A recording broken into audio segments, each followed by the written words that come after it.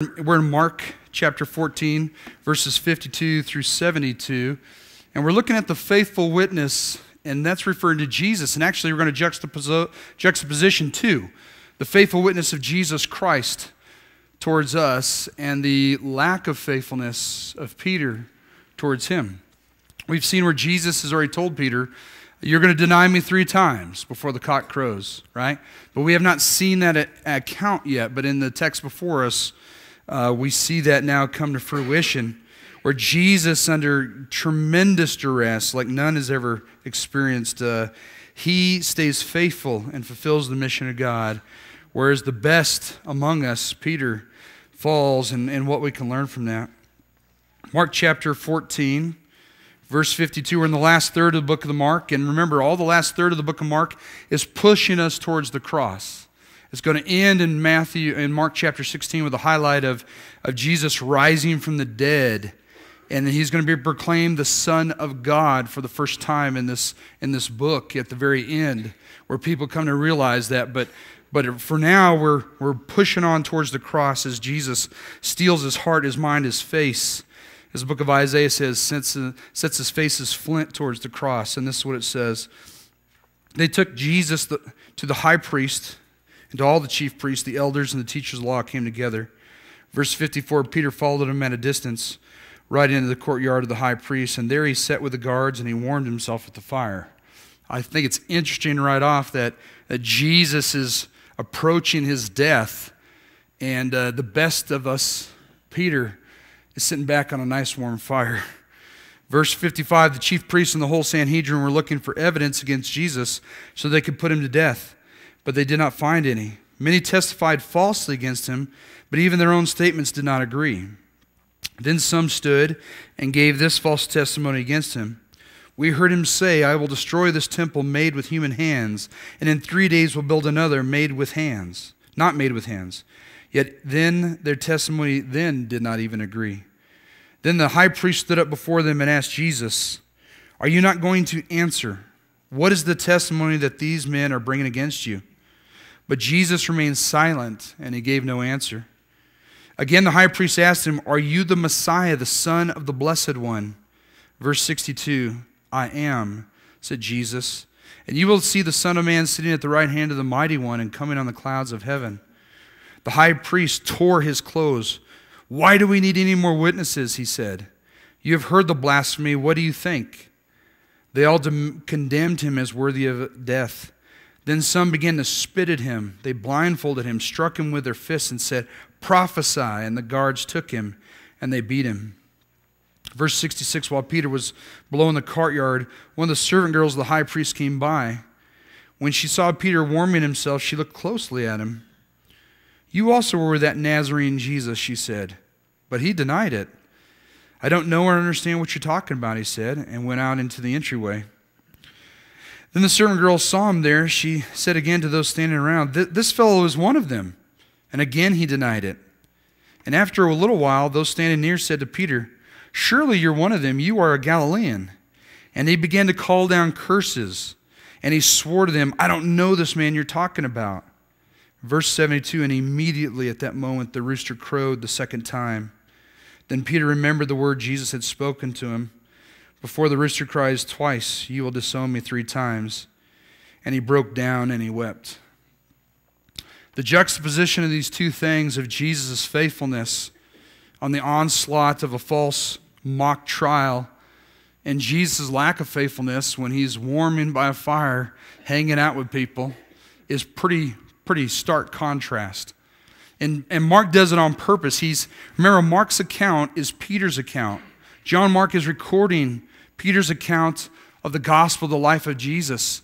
And so Peter's recounting his own great sin against Jesus, but how great Jesus' faithfulness to the Father was. And, and the whole thing drips with the fear of Peter, right?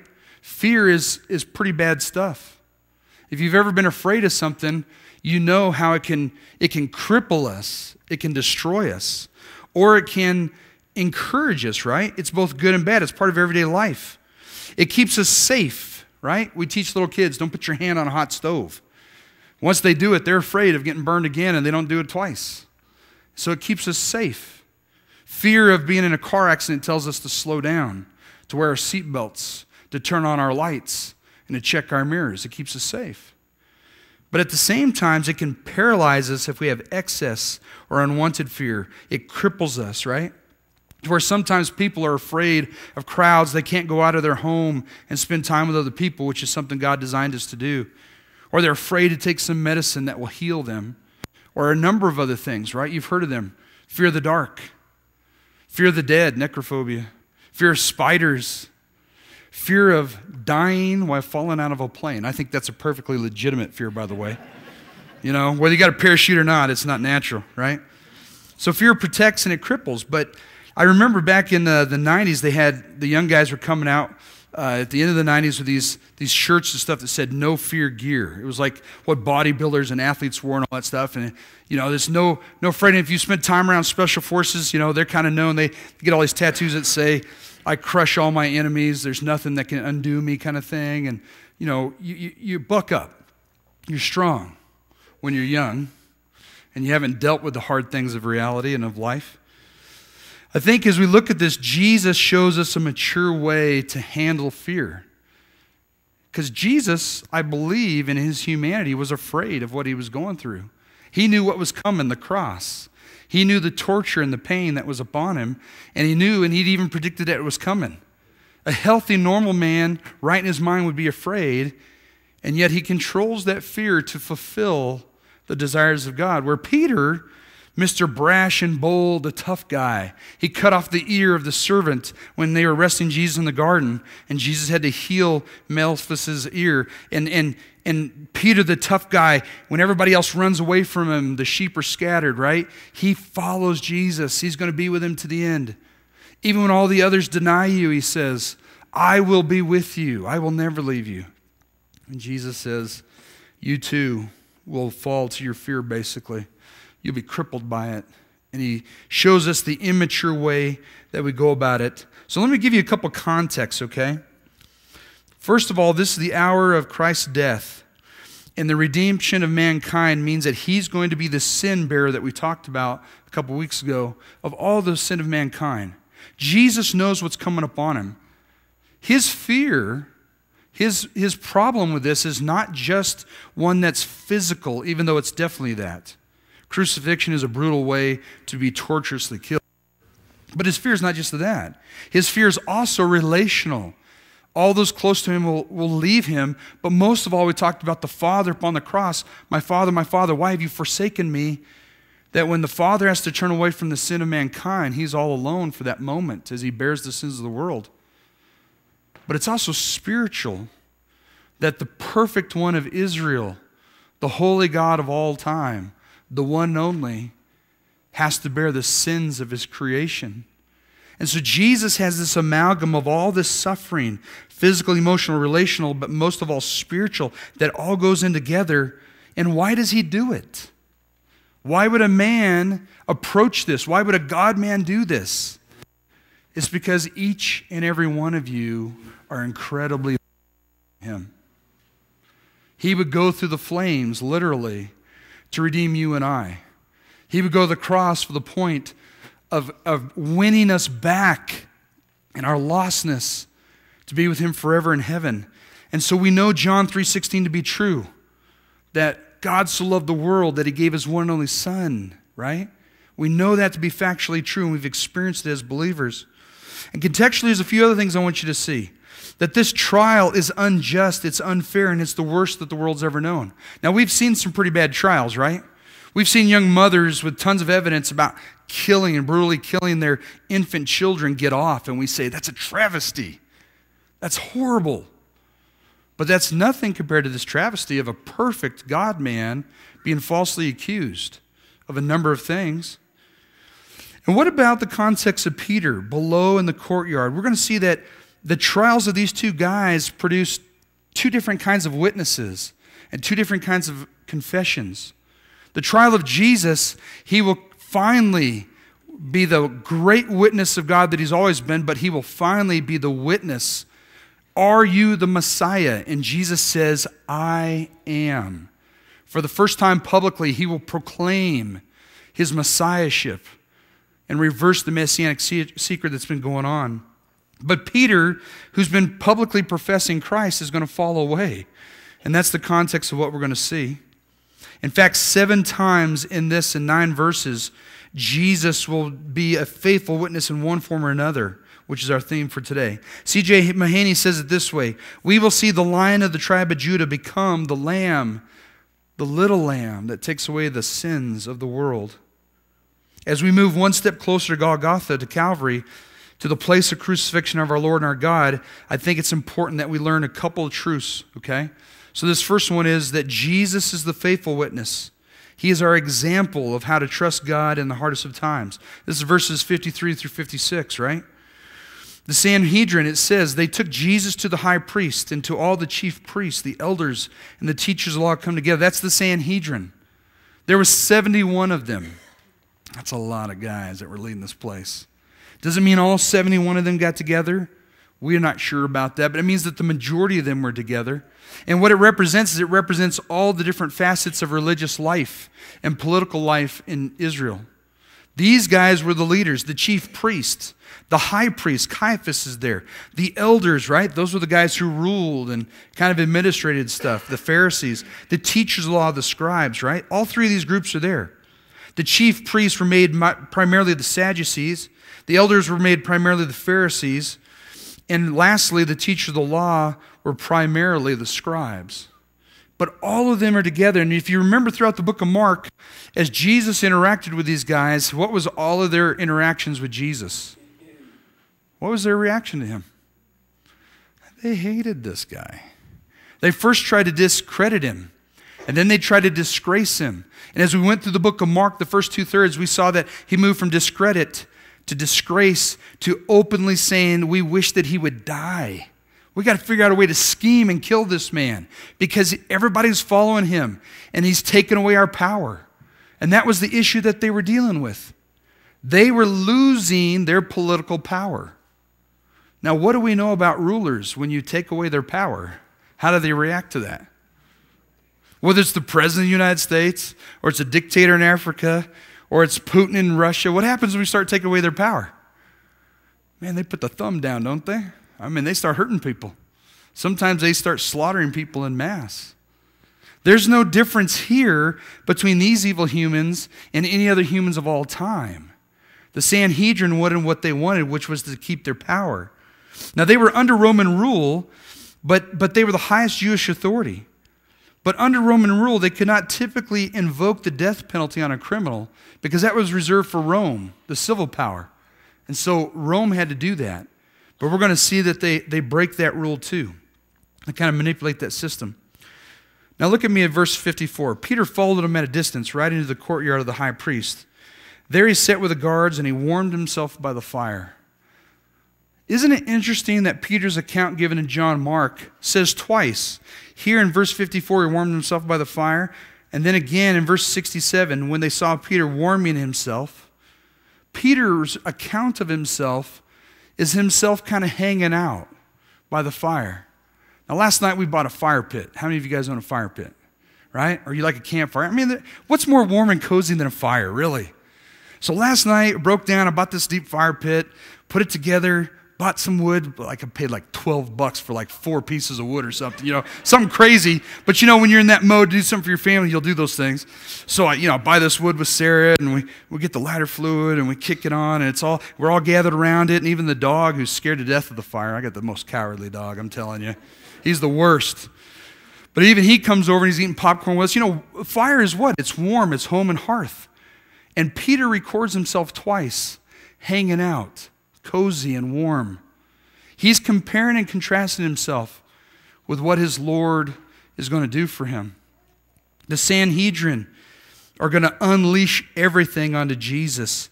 And Peter says, And I was warming myself by a fire. His flesh had become more important to him than his faithfulness. And isn't that a picture of us sometimes? Sometimes doesn't our flesh become more important to us than our faithfulness? And Peter's saying, learn from this. Don't do what I did. Learn from Jesus and what he did and see what he did, okay? Then the, Peter followed them from distance, right? Then the chief priests and the whole Sanhedrin were looking for what? For evidence against Jesus so that they could put him to death. But they did what? Verse 55 they did not find any. So if you don't find evidence, but you got to make sure that this guy goes to trial, what do you do? You drum it up, you make it up, you fake it up. You do what you got to do to make this happen. And that's what we're going to see. They are scheming, right? This goes all the way back in the book of Mark, where in verse chapter 11, verse 18, it says that they were looking for a way to kill him. We see that all the way back there. In chapter 12, verse 12, it says for a way to arrest him. And in chapter 14, verse 1, they says that they were scheming. In fact, it means literally in the Greek, they were looking for a sly way, okay, a sly way to arrest Jesus secretly and to kill him. Now, there's some things we've got to unpack here. These guys bring him together and they bring false testimony against him, right? They didn't find anything. Verse 56 many testified falsely against him, but even their own statements did not agree. The chief, piece, chief priests and the Sanhedrin, these guys were smart guys. These are well educated men. But doesn't sometimes our emotions get the better of us? Right? These are guys like with doctorates, right?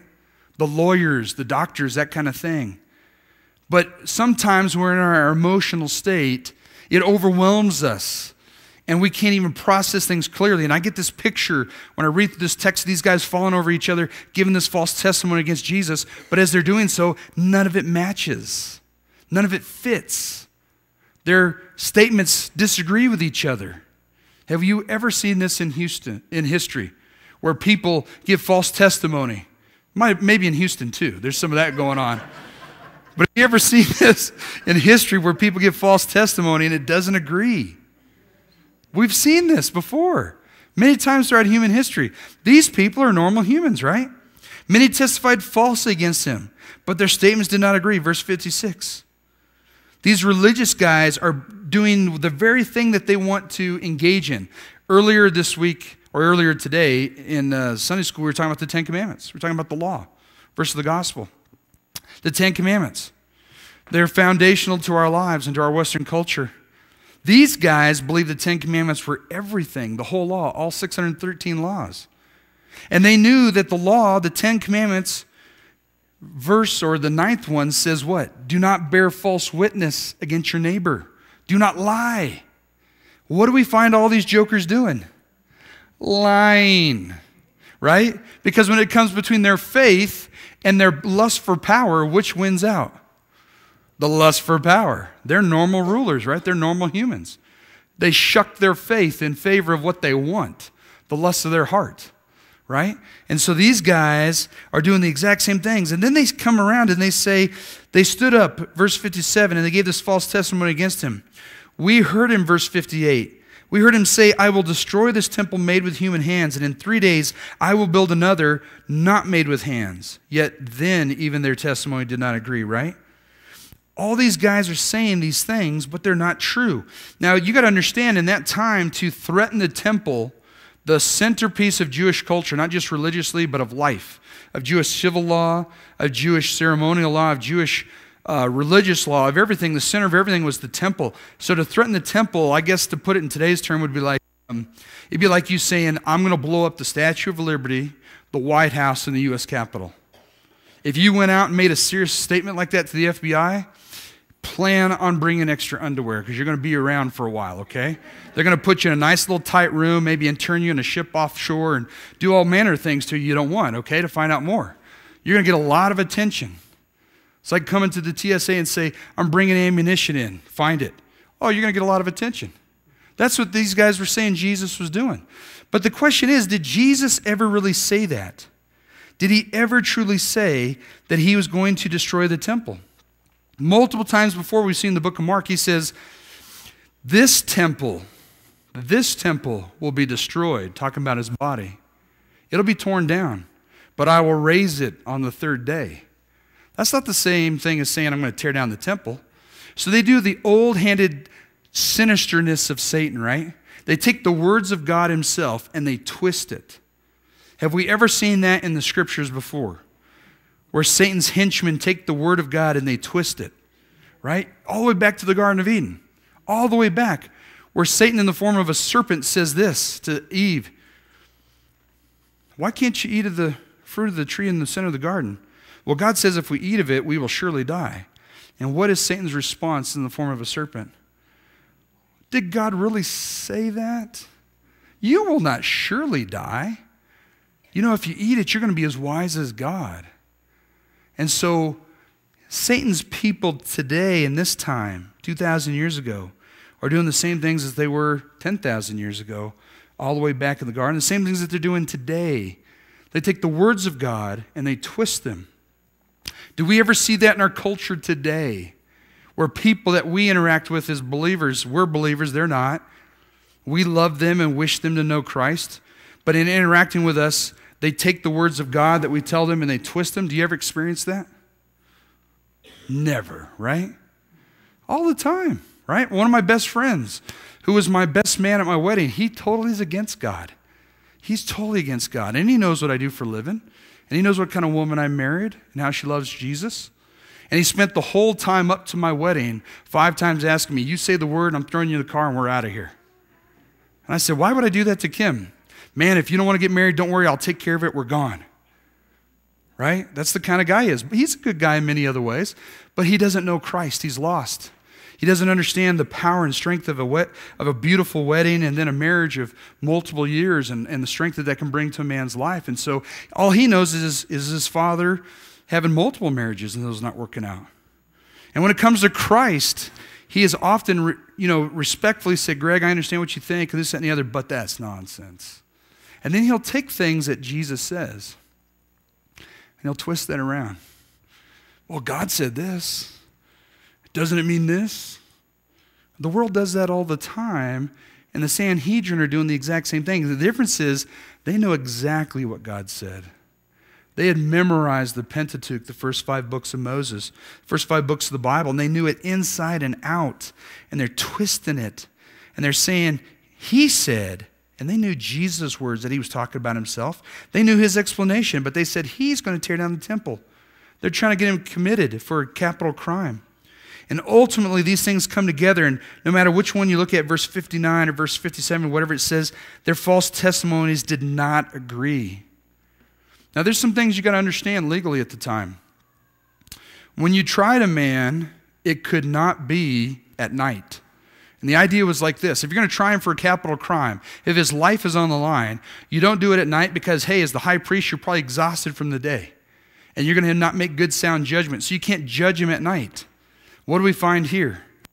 They're judging Jesus at night. Right after they snatch him from the Garden of Gethsemane, early in the early morning hours in darkness, they bring him to Caiaphas' house. Here's another thing that you don't understand. You tried a man for a capital crime in the temple, in God's holy house, with the idea that God's Spirit would give you help with that. Where's Jesus being tried? At the house of the high priest. They're multiple along the way doing subtle things to break their own laws and their own traditions, and it's going to cost Jesus his life.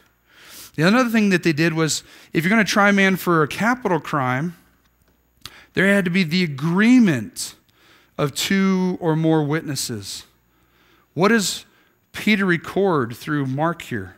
That these guys said different things and they did not agree. All those things should have made the process stop. But much like injustice in our own nation, the process barrels on because they're going to have their pound of flesh, they're going to have their pint of blood, and they're going to drum it up along the way.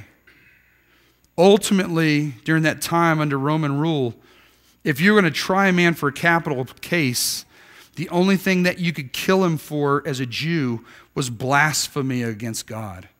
In a minute, we're going to see what Jesus' response is, right? Verse 60 Then the high priest stood before them and asked Jesus, Are you going to answer these men? What is this testimony that these men are bringing against you? But Jesus remained silent and gave no answer. You see, Jesus is not going to answer the foolishness, the dog and pony show. This is a kangaroo court and he knows it. He knows where it's going. He knows it's going to lead up to the cross. He is God and he can see the future and he knows where it's supposed to go. And he doesn't want it to stop because he wants to redeem you and I. He wants to give the great faithful witness of God Almighty and to redeem us from our sins. And so he allows it to go on. But this kangaroo court is just out of control.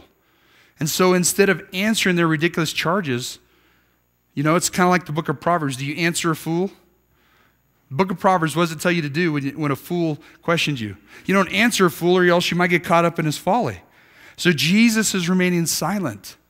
And in fact, he's fulfilling Isaiah 56, where it said that he was silent before his accusers, that he did not strike back, that he did not speak a word, he did not open his mouth. Like a sheep before his shears is silent, Jesus was silent before those who were going to kill him. In multiple ways, he is fulfilling prophecy. And it's interesting at the end of this, in verse 65, when they, they cover his head, they blindfold him, and they strike him with their fists, and they say, Prophesy. And Jesus is fulfilling the very prophecies that they say they uphold already. Everything that Mark records is dripping with irony. Because here, the high priest in just a moment is going to say, Are you the Christ? Again, the high priest says in verse 61, part B, Are you the Messiah, the Son of the Blessed One? Are you the chosen one? Are you the, the anointed one of God, the anointed one of Israel? Are you God's son? Are you that person? And Jesus says, What? I am. Now, what is Caiaphas' response to that? Caiaphas says, He says, I am, and you will see the Son of Man sitting at the right hand of the Mighty One and coming on the clouds of heaven. And verse 63, the high priest, he tore, it means he literally ripped his clothes off. He tore his clothes, not all of them. I don't mean he's bug naked, but he ripped his nice clothes. It was a sign of saying, enough of this. I'll have nothing to do with this. I'm tearing myself apart from this. I'm having nothing to do with Jesus. Now, have we ever seen anything like that happen in our world? Where in protest someone tears their clothes? Did you guys watch the Rio Olympics 2016 last summer? If you watched the Rio Olympics, uh, my daughter and I stayed up and watched the volleyball. They were, man, those lady volleyball players are phenomenal. They went gold after gold after gold. The swimmers the same way. But on one night, I stayed up and I watched wrestling. I was just kind of curious and I was watching it. And if you watch the wrestling at the Olympics of Rio, uh, the Mongolians had one wrestler that was really good. And Mongolia only feels like maybe seven or eight Olympic athletes, not very many. And they never win much. This particular wrestler was really good, and he was wrestling one of the stars, a guy that was expected to a silver or gold. And he was winning the match, and he was winning in points as they went around and around in time. When the buzzer was sounded, and the match was over, after the match was done and the, and the clock stopped at zero, the judges uh, awarded a point to the other man. And the Mongolian lost the bronze. That would have been their first medal in like dozens and dozens of decades. Okay, and so the Mongolian coaches, I mean, they jumped out of their seats.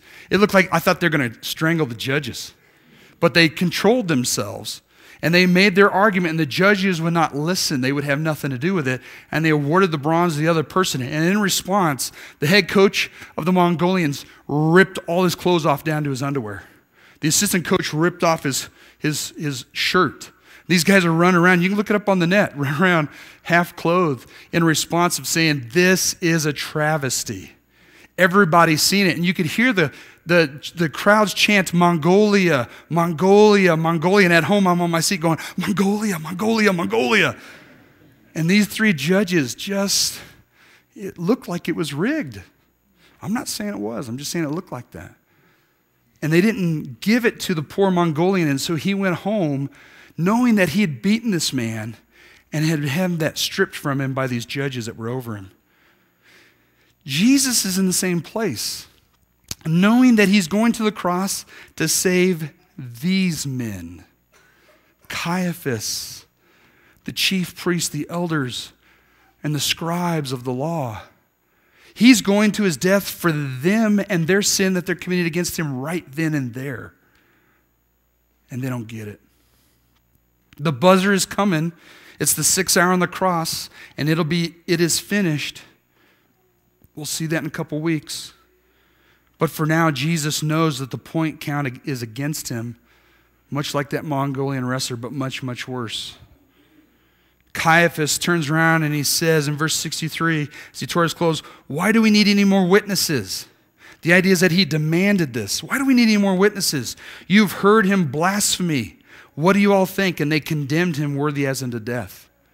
This is another one of the high court rules that to be charged in the Jewish court of death, you had to blaspheme God. And because he claimed to be God, they said he blasphemed God. And the very interesting thing is this the one that's accused of blasphemy is the only one in the room who did not blaspheme. Right? Because these men are denying that Jesus Christ, who had healed people, who had raised people from the dead, remember Lazarus? Who had given sight to the eyes, blind Bartimaeus, and deaf ears back, and had people walk. And he had healed leprosy and the woman with blood, and he had forgiven sins, and he had done all these miraculous things that they saw every single day. And he said, Even if you don't believe my testimony about me and what I teach, look at the miracles. Only God could do these things. I am him. And they denied him, they would have nothing to do with him.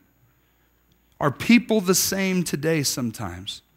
That despite the evidence, they'll have nothing to do with Jesus. Does it mean that they're evil?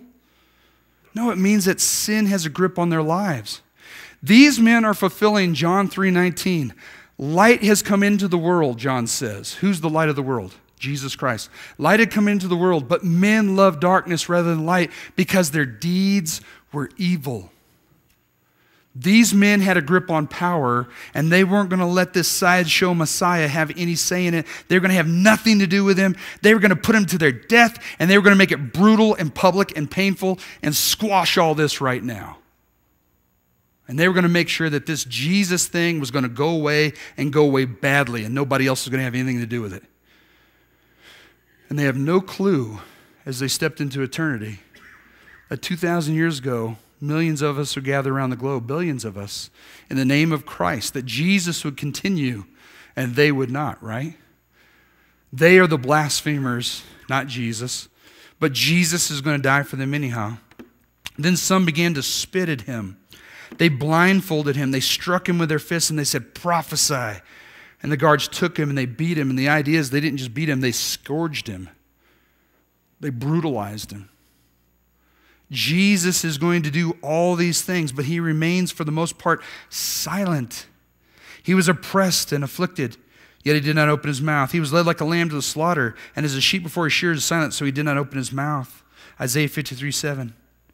He is going to fulfill a prophecy from 700 years later, or 700 years earlier, and he's going to do all these things to make sure that he goes to the end, and this kangaroo court is going to see its will all the way to the end. Now, this reminds me of, of something that unfortunately I have a tie to in my own history. My mom is from the South, from deep Tennessee. And my mom would tell me about white supremacists that would gather when? Did they gather in broad daylight to do their evil? No, they gathered at night. And what did they do? They use hoods like they put one on Jesus. The difference is they put one on themselves sheets and hoods. And they burned crosses in the name of God. And they lynched and burned alive poor black men, women, and children because of their race. You want to talk about a kangaroo court pulling people out of their beds in the dark of night or off the streets and doing evil to them in the woods? That kind of nonsense is not only racism, it is evil in its fullest amount. And when I see this scene right here, it makes me think of the KKK in our day.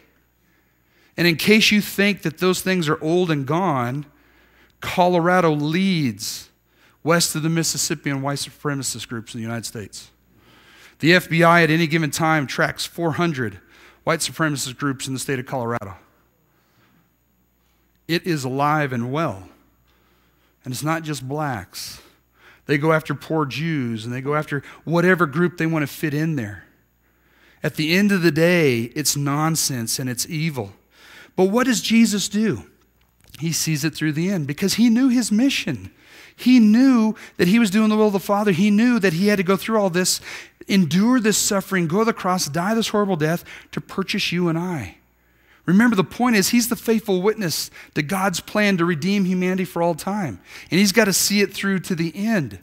And he is demonstrating as a model how we should approach those things. Where else did he say? In another place in the book of Mark, he says, When they come and they persecute you, do not worry about what you will say, because the Holy Spirit will give you the words to say it, right? We need to stick fast to Jesus. In our country, that's easy to do, but in other countries, that's not so easy. Millions of Christians are in jail, tortured and mistreated all across the world because of their faith only. Not politics, not anything else, but because of their faith. It is thought that the Soviet Union in their 70 year empire had murdered, in one form or another, some 20 million Christians of their own people in the Eastern Bloc, the Slavic countries. China is no different today in its communism, or Vietnam or other groups. What about the Middle East? Is Islam any easier on Christians?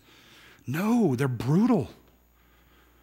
I'm not kicking the teeth in on Islam. I'm just saying it's evil what they do to believers because of their faith. Such things should not be done. But Jesus is the faithful witness, and we need to be faithful to the end. It's interesting in the book of 1 Peter. Later on, when Peter's restored, he says this But rejoice inasmuch as you participate in the sufferings of Christ, so that you may be overjoyed when his glory is revealed. Peter encourages us through the whole book of 1 Peter to participate literally means to be in the steps of Christ in his sufferings.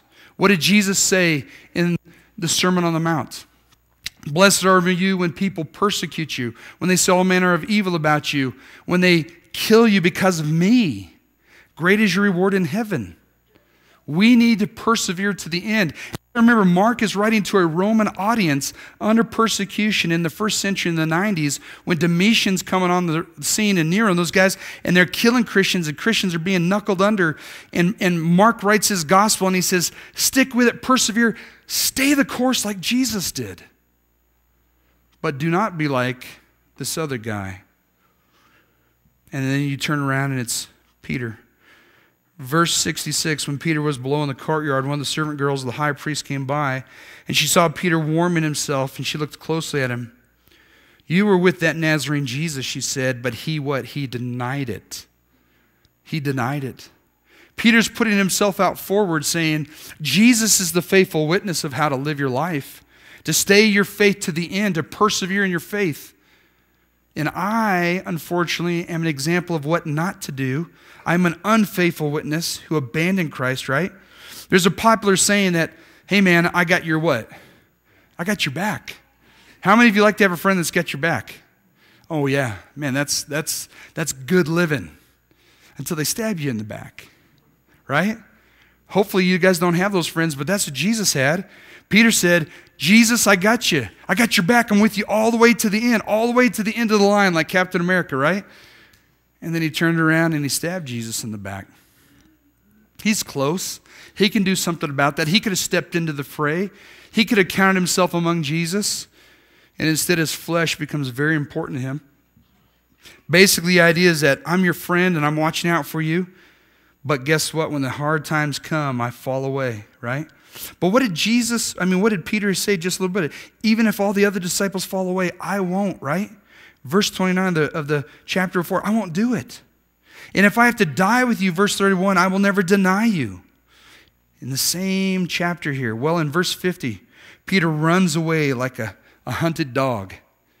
As people shine the light on him, he denies that he's there and that he has anything to do with Jesus. He turns tail, as they say. In this first part, chapter 14, verses 66 through 68, he says, I don't know what you're talking about, right?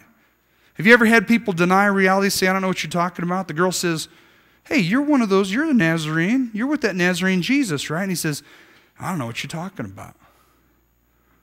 I have no clue. I remember my brother Ed, who's now deceased. One time my mom was gone in the town and he got it in the cookie jar. My brother loves sweets, man. I think I love sweets, man. That guy loves sweets like nobody. And he literally took all these cookies that mom made, these chocolate chip cookies, and he shoved them in his mouth. Just the whole jar. I'd never seen anything like it. I mean, it was like out of control. I thought he had to go to eating disorder clinic or something, man. I was just, just shoving them in. Well, right about then, my mom shows up. There's the cookie jar with the lid off and crumbs all over the place and on the floor. There's my brother his cheeks out like a like a you know like a chipmunk. And my mother says, Ed, did you eat any cookies? And what does my 11 year old brother say? Oh, I don't know what you're talking about. As he's spitting crumbs all over the place, right? His guilt is obvious. I didn't know if my mom wanted to choke him or if she wanted to laugh with him. You know, I mean, it was just one of those things. She ended up going easy on him because it was just such a hilarious scene and giving him grace. Peter here says, I don't even know what you're talking about. Isn't it how our denials of things go? I don't know what you're talking about. We hope that'll make it go away with a soft answer. I don't, I don't know what you're talking about, right? I don't know or understand what you're talking about, he says. Then he went out into the entryway. When the servant girl saw him there, she said again to those standing around, Yeah, yeah, this, this fellow's one of them. Verse 70, what? And again he denied it, right? And how does he do that? After a while, those standing near to Peter said, Surely one of them, you're a Galilean. And he began to call down curses and he swore them. I don't know this man that you're talking about, right? I don't know what you're talking about. In the second part, in another translation, it says, I do not belong to him. So it goes from, I don't know what you're talking about, to, I don't belong to him. And then by the third one, it's, I'm cursing, I'm cussing myself and everybody around me, and I'm saying, I got nothing to do with the guy. What are you talking about? Knock it off.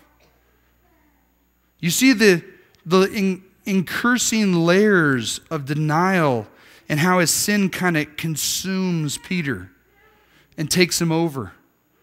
To where a few moments ago in the garden, he wouldn't have been cussing, he wouldn't have been swearing. That was wrong, like it is today. But by this time, his flesh is so important. He sees his skin's on the line, his neck's on the line, and he doesn't want to have He's an unfaithful witness, so he starts cussing and screaming and carrying on. And I, I don't know the guy. What are you saying? The intensity is what you see in the Greek, is this tremendous intensity where he cusses and he swears and he denies Christ the third time. And then what does the text say? Immediately he heard the rooster crow and he remembered what Jesus' words were. Before this night is over, you will deny me three times. Before, before the rooster crows the second time, you will deny me three times. And it says at the end of this, he broke down, right?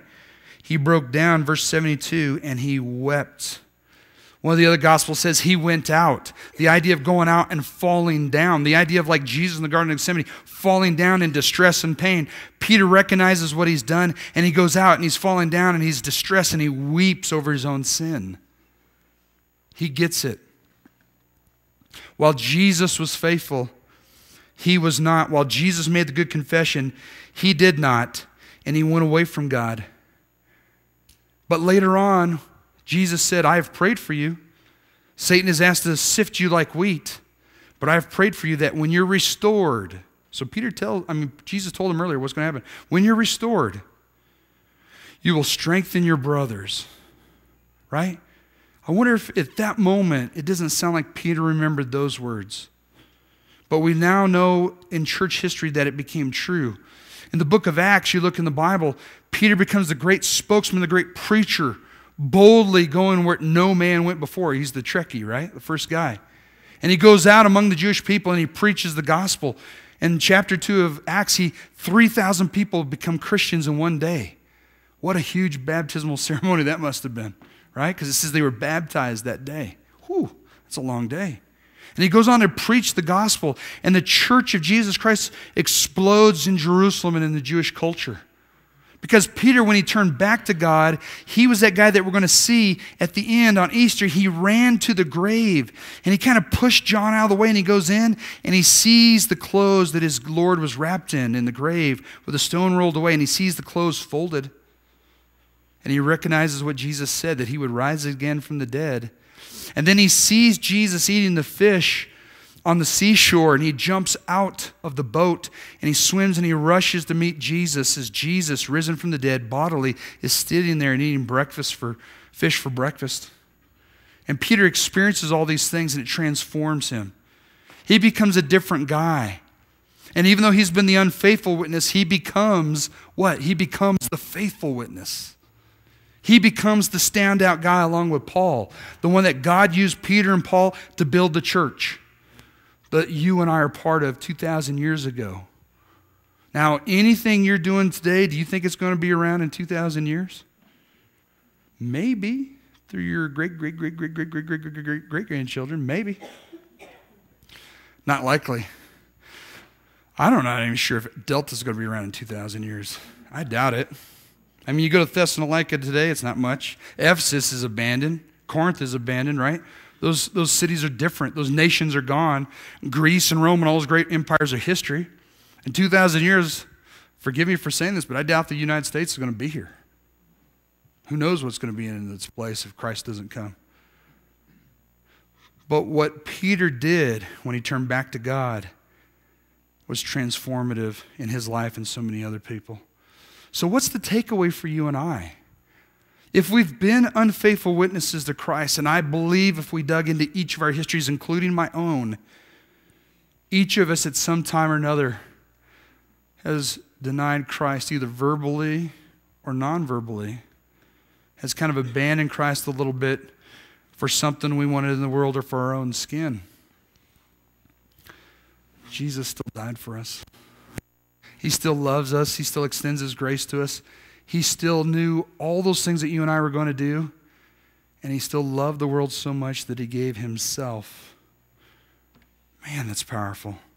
The takeaway is this our fear should not cripple us. We should be faithful witnesses, but when we fall, when we fail, Jesus' grace is greater still. Can his grace be exhausted? No, two weeks ago I said he's got grace upon grace upon grace upon grace. His grace cannot be exhausted. It cannot be. It's like the Pacific Ocean. If you take out a handful of water, you're going to keep a long time, like forever. Right? His, his grace is like the Pacific Ocean, it cannot be exhausted. And he gives it liberally to all those who repent of them, their sins, who turn away from themselves into him.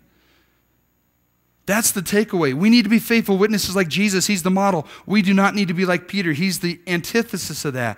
But when we fall, and we will, when we make mistakes, when we do not live up to what God wants us to be and be like Him, He gives us grace and forgives us. And we can turn back to Him and become even stronger.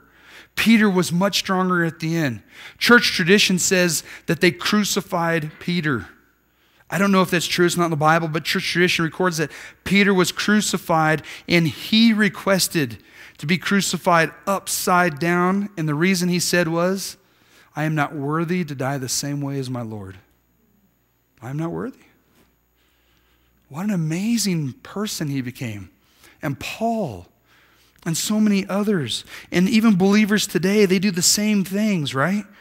They show us how to be faithful in closing, John Steinbeck's novel, The Short Reign of Pippin IV, there's a passage where the king says, Power does not corrupt.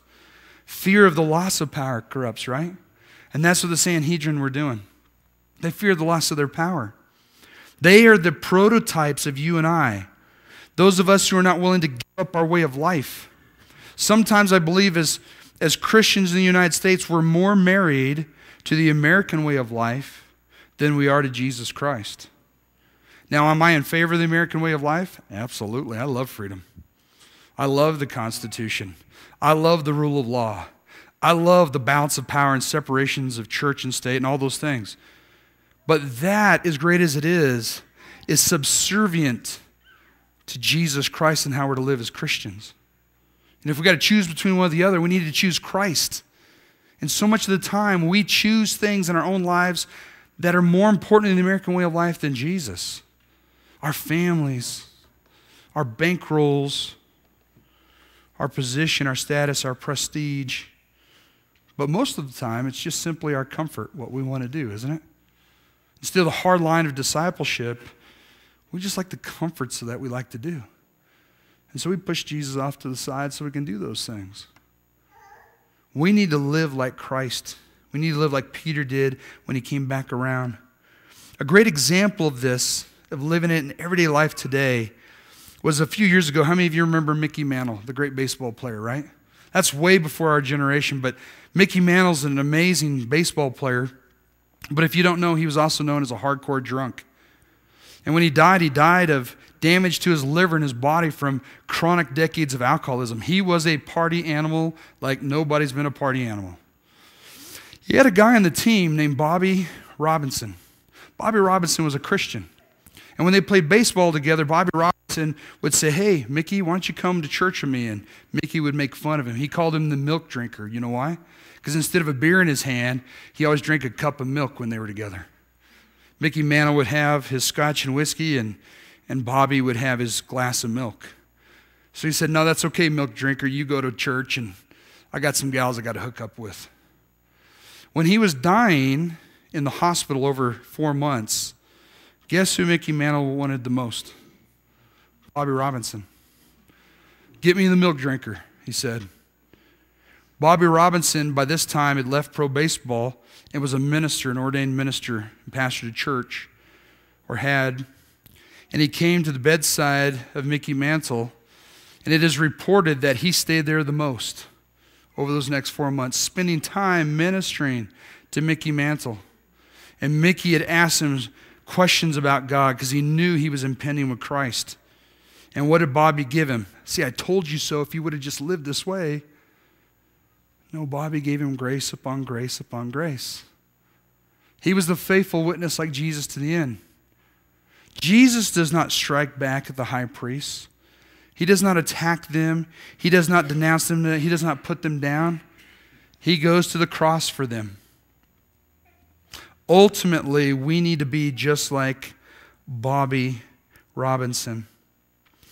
Thomas Cranmer, one of the great reformers of the English church, when he was tortured for interpreting the Bible by the Church of England, they took his right hand and they did all kinds of bad things to it. And on one occasion, it was so long and under such duress that he gave in and he, he went against his faith. He recanted his faith. He said, I don't believe in Jesus as he survived multiple attempts at torturing him and trying to kill him, he became stronger and bolder in his faith. He said he experienced God's forgiveness and his grace. And at the end of his life, when they finally caught up with him and they burned him at the stake, guess what he did? He chose to put his right hand in first as a symbol. This is what I deny Christ with. This goes first for Christ. And it is recorded in church history by the reformers that as the flames engulfed him, he cried out, Oh, my Jesus, forgive them. And he went into eternity. Isn't that what we're going to see about Jesus upon the cross in just the next few Sundays? He was filled with grace and truth. He gave the truth, and when the truth was denied, he gave them what? Grace upon grace upon grace. He loved and he loved and he loved, and eventually the love would win over many then Remember the soldier at the foot of the cross? What does he say? Surely this man was the Son of God. He was won over by Jesus' love and forgiveness. You and I were won over by Jesus' love and forgiveness. That's what we need to be as faithful witnesses to extend to other people in the county is Jesus' love and grace and forgiveness. And if we're those Bobby Robinsons, if we're those Thomas Cranmers, if we're like the faithful witness of Jesus, eventually God will bring many of them to a saving knowledge of Him. Let's pray.